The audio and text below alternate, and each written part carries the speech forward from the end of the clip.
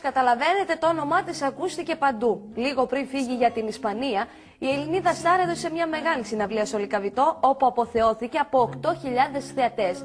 Το κλίμα φορτισμένο και η δέσποινα φανερά συγκινημένη αποχαιρέτησε τους αμαστές της και έφυγε για την Ισπανία. Λίγους μήνες αργότερα η συναυλία στο Λικαβιτό κυκλοφόρησε σε CD με τον τίτλο Δέσποινα Live. Παράλληλα κυκλοφόρησε και το DVD με τίτλο The Video Collection που περιείχε 15 βίντεο κλιπς της Δέσποινας Βαντή αλλά και κυκλοφορεί το υλικό που συνοδείες.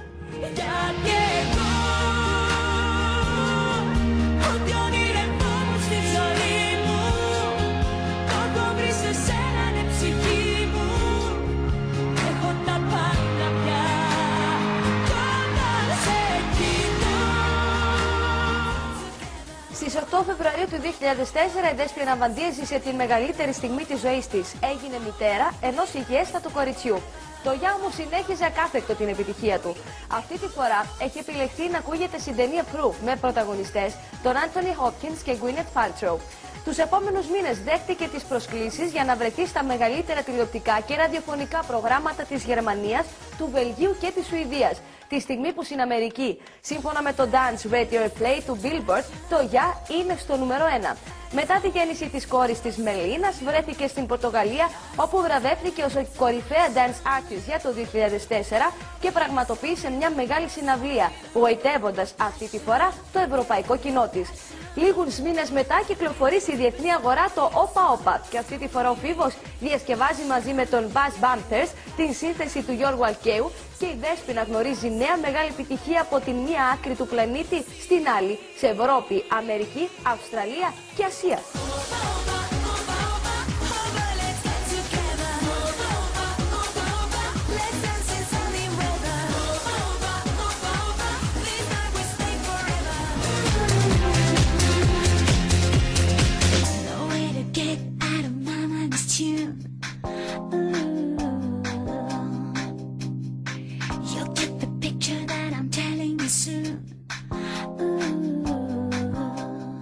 2004 και εν ώψη των Ολυμπιακών Αγώνων της Αθήνας κυκλοφορεί και το synthi single Come Along Now σε σύνθεση και πάλι του Φίβου. Το τραγούδι που αποτελεί το μουσικό θέμα της επίσημης διεθνούς διαφημιστικής καμπάνιας γνωστού αναψυχτικού δημιουργεί αίσθηση και προκαλεί δικτυραμβικά σχόλια από τον παγκόσμιο τύπο για την Ελληνίδα.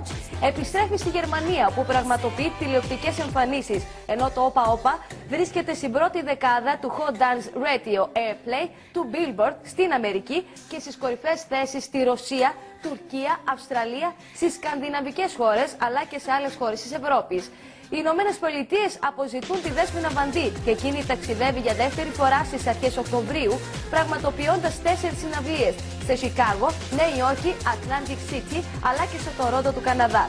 Οι συναυλίες ήταν sold out και δημιούργησαν μεγάλη εντύπωση και προκάλεσαν βέβαια το ενδιαφέρον των τηλεοπτικών και ραδιοφωνικών μέσων. Από τη μία πλευρά του Ατλαντικού συνάλλη λοιπόν, η Δέσποινα Βαντή ταξιδεύει στη Μόσχα τον Νοέμβριο, καθώς μετά την επιτυχία που είχε στη Ρωσία το καλοκαίρι, το Όπα Όπα, το Come Along Now, γίνεται το δεύτερο πιο εμπορικό τραγούδι στη Ρωσία, σύμφωνα με τα επίσημα στοιχεία πωλήσεων.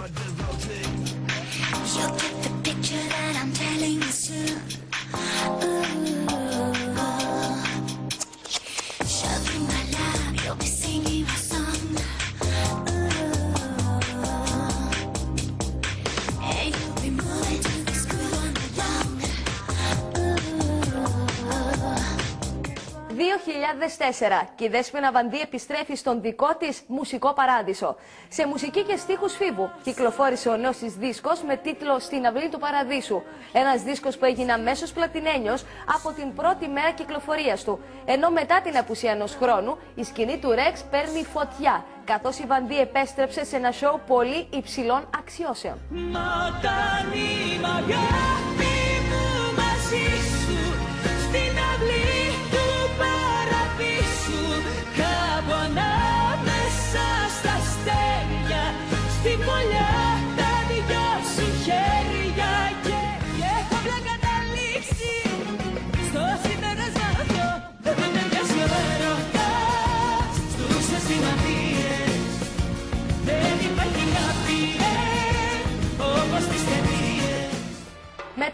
Των πολύ επιτυχημένων της εμφανίσεων στην Αθήνα, η Δέσποινα Βανδύ βρέθηκε στη Θεσσαλονίκη και συγκεκριμένα στην πύλη Αξιού.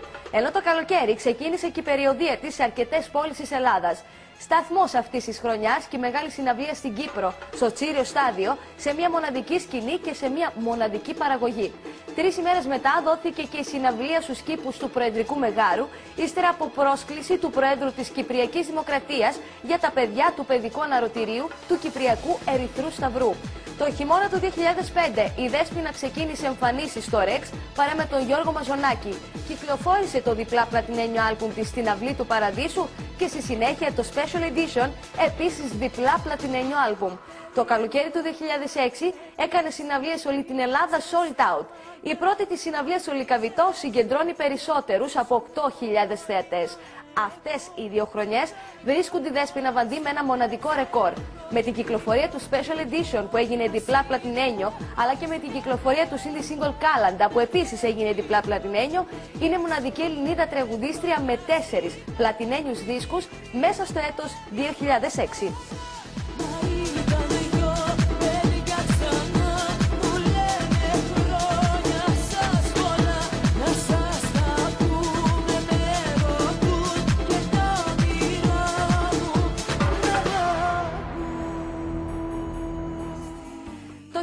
2007 κυκλοφόρησε το νέο της άλμπουμ με τίτλο 10 χρόνια μαζί, ένα επαιτειακό CD που επισφράγισε τα 10 χρόνια κοινής πορείας τη με τον Φίβο. Υπολογίζεται πως το άλμπουμ έχει σημειώσει 56.000 πωλήσεις σε Ελλάδα και Κύπρο. Τον Ιούλιο του 2008 η Βανδί κυκλοφόρησε ξανά τον δίσκο 10 χρόνια μαζί. Αυτή τη φορά όμως ο δίσκος περιείχε επίσης και ένα νέο τραγούδι, το It's Destiny, σε μουσική Φίβου και σε στίχους του Σίλερ και του Φίβου. Δέκα χρόνια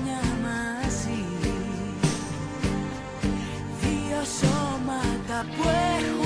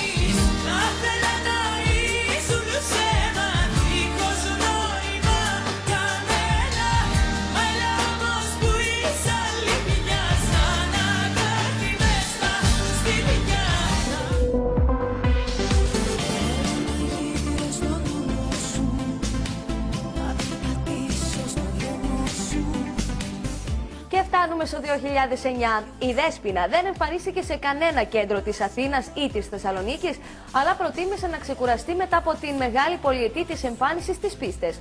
Όμως θεώρησε καλή ευκαιρία να πραγματοποιήσει φιλανθρωπικές συναυλίες στην Κύπρο. Οι συναυλίες αυτές χάρισαν στην Βαντή πλατινένια απονομή του άλμπουμ 10 χρόνια μαζί στην Κύπρο, μετά από την πλατινένια απονομή του άλμπουμ στην Ελλάδα. Μετά από αυτές τις συναυλίες στην Κύπρο, η Βανδί είναι έτοιμη να πραγματοποιήσει και συναυλίες στις Ηνωμένες Πολιτείες και τον Καναδά. Μετά την ανακοίνωση για την περιοδία της στην Αμερική, έρχεται και η ανακοίνωση από το επίσημο site της για τη συνεργασία της με τους Going Through για μια μεγάλη περιοδία σε όλη την Ελλάδα. Στις 16 Ιουνίου του 2009 κάνει την επάνωδό της μετά από ένα χρόνο δισκογραφικής αποχής με το τραγούδι Υπάρχει ζωή. Ένα δυνατό pop rock τραγούδι με φιλανθρωπικό χαρακτήρα.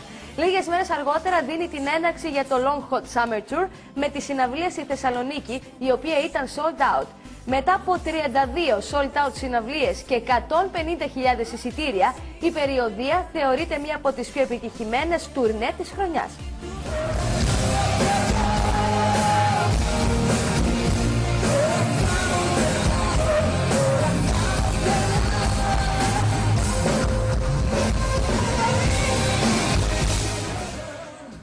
Νοεμβρίου του 2009 και η Δέσποινα αποχωρεί από την Heaven και ακολουθεί τον Φίβο στη νέα του εταιρεία που δημιουργεί, την εταιρεία Spicy.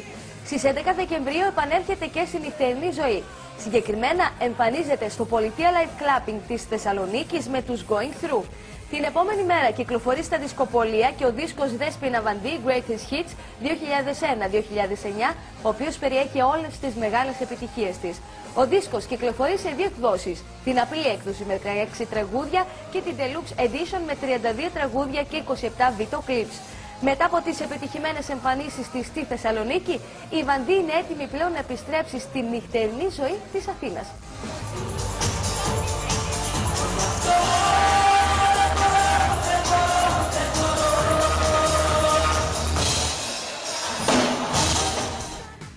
Τραγούδι κυκλοφόρησε στις 22 Μαρτίου του 2010 σε όλα τα ραδιόφωνα της Ελλάδας και της Κύπρου. Αποτέλεσε και το πρώτο άκουσμα από το επερχόμενο άλμπουμ της Βαντή που θα κυκλοφορήσει πριν από το καλοκαίρι.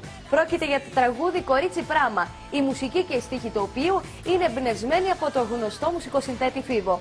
Λίγο αργότερα ακολούθησε και το δεύτερο μέρος του τραγουδιού Κορίτσι Πράμα.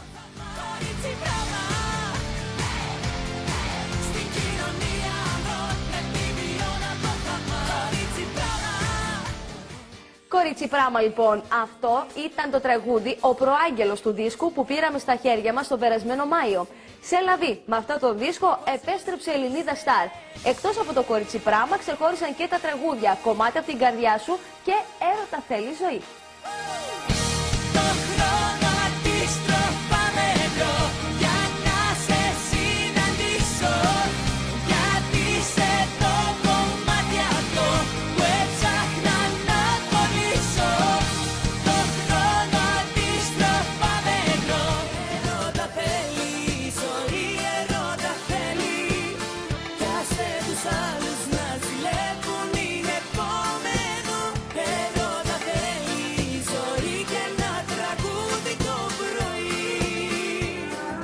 Χειμώνας 2010 και η Ελληνίδα Star επιστρέφει στην πίστα. Συγκεκριμένα ξεκίνησε νέες εμφανίσεις στο Vox παρά με δύο νέους καλλιτέχνες, την Ελισάβετ Σπανού και τον Πάνο Καλίδη. Αυτές τις μέρες μάλιστα επανακυκλοφόρησε ένα τραγούδι της.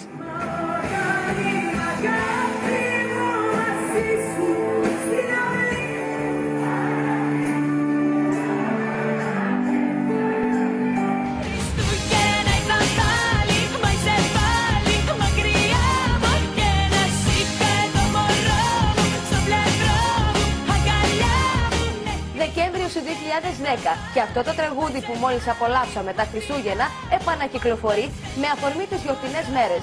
Το τραγούδι βέβαια επανακυκλοφορεί με τη συμμετοχή όλων των καλλιτεχνών που ανήκουν στη δισκογραφική εταιρεία Spicy.